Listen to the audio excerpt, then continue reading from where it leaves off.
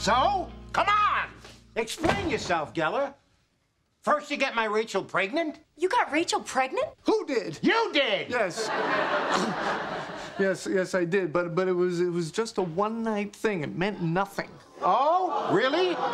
That's what my daughter means to you? Nothing? No, no, sir. Um, she means a lot to me. I mean, I, I care. I, I love Rachel. What? Oh, but not that way. I mean, I mean, I'm not in love with her. I love her like like a friend. Oh, really? That's how you treat a friend? You get her in trouble and then you refuse to marry her? Hey, I offered to marry her, but I didn't want to. Well, why not? So you can spend your time with this tramp? Tramp? I'm sorry, Dr. Green, Mona, Mona, Dr. Green. How could you have kept all of this from me?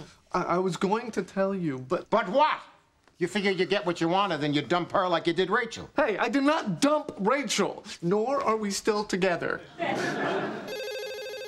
oh, um, can I just? Why don't we just let the machine get that? Hey, Ross, it's Joey. There's a hooker over here, and we thought maybe you'd know something about it. No, no, no, no, I need to lie down.